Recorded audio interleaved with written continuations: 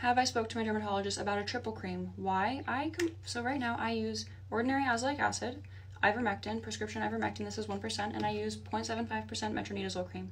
There is a prescription that combines all of these into one, so I don't have to buy three different products. This is where I am at. Number one, I have not seen my dermatologist since she gave me this prescription. Um, will I go back?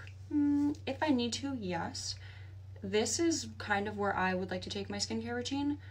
I'm going to try, this is honestly almost out. Once I run out of this, I'm not gonna purchase it again. I'm gonna see how my skin does.